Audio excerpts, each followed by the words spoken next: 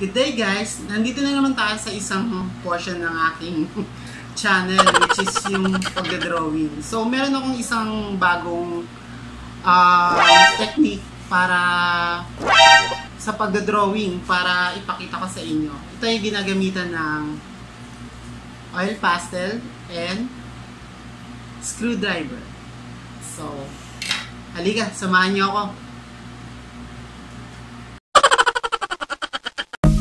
walking